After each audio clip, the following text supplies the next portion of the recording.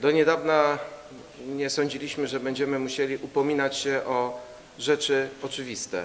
Dla nas e, trójpodział władzy w państwie, ład e, i porządek konstytucyjny to normalność, to, mm, to co wypływa e, z konstytucji z 1997 roku, ale ost- wydarzenia ostatnich tygodni pokazują, że o wszystko e, należy się upominać.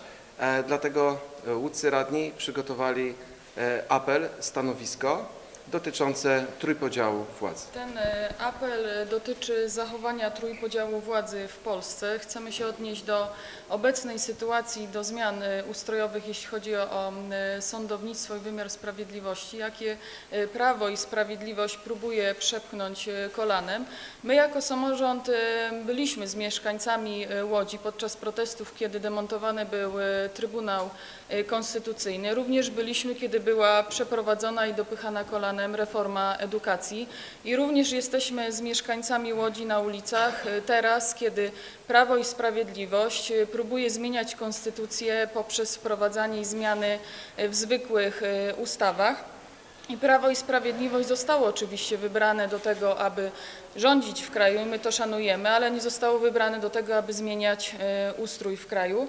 E, Ta, to stanowisko będziemy prezentować na jutrzejszej e, sesji. Byliśmy pierwszym w kraju samorządem, które przyjmowało stanowisko, jeśli chodzi o respektowanie wyroków Trybunału Konstytucyjnego i apelujemy również do innych samorządów, aby również wyrazili swoją opinię, podkreślili stanowisko, że nie ma naszej zgody na łamanie konstytucji i my jesteśmy za e, reformą wymiaru sprawiedliwości, ale nie w takim trybie i nie w taki sposób. Stanowisko będziemy kierować do prezydenta Andrzeja Dudy, do pani premier Beaty Szydło, ale również do marszałków Sejmu i Senatu. Według nas jest łamana idea wolności obywateli i w związku z tym postanowiliśmy y, taki apel y, wystosować. Y, Wymiar sprawiedliwości nie może stać się sceną, na której rozgrywają się gry polityczne. To jest coś więcej, coś bardzo ważnego dla wszystkich obywateli i taka sytuacja nie może mieć miejsca. Tak jak powiedziała pani radna, jak najbardziej jesteśmy za tym, y, żeby reforma wymiaru sprawiedliwości była. Jest ona y, niewątpliwie e, konieczna, ale dziwi nas przede wszystkim szybkość, e, którą e, wprowadził e, PiS. Dlaczego tak szybko? Dlaczego bez konsultacji z ekspertami?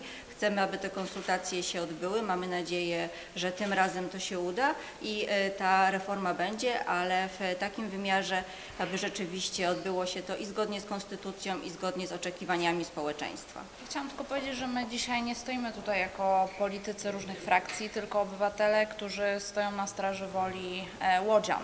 E, Przez cały tydzień pod Sądem Okręgowym w Łodzi na Placu Dąbrowskiego zbierały się tłumy i proszę mi wierzyć, codziennie było nas coraz więcej. Ci ludzie byli ze sobą solidarni, e, wyrażali swój jasny sprzeciw i to już wtedy był ich apel o to, żeby trójpodział władzy został zachowany w Polsce w takim wymiarze, jakim powinien zostać zachowany.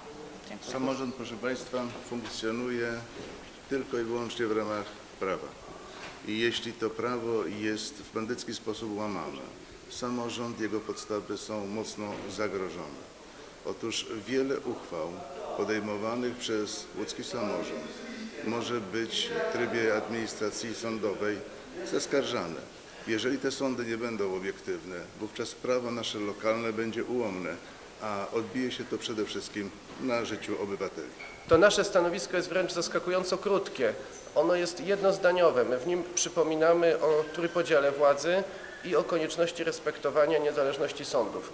To jest nasz celowy wybór, żeby to stanowisko nie prowokowało do awantury, do dyskusji. Wskazujemy na te podstawowe wartości, pod którymi zdaje się powinni być w stanie podpisać się wszyscy mieszkańcy Łodzi. Korzystamy z tego, o czym wczoraj w swoim orędzie mówił prezydent, który zapowiedział szeroką debatę nad y, zmianami w wymiarze sprawiedliwości. My oczywiście jako Rada Miejska nie jesteśmy uprawnieni, umocowani, żeby szczegółowo wypowiadać się na temat rozwiązań proceduralnych y, czy też y, instytucjonalnych w zakresie organizacji sądownictwa powszechnego i Sądu Najwyższego, ale na pewno jesteśmy umocowani, żeby przypomnieć o tych podstawowych wartościach konstytucyjnych, które jak się okazało dla Łodzian są niezwykle ważne.